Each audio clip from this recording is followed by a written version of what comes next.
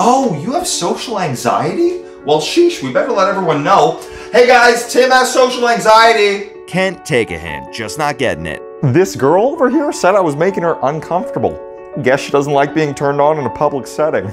Can't take a hint, just not getting it. Oh, you're pregnant and your back hurts? You better try to find a place to sit down. Can't take a hint, follow for more oblivious quotes.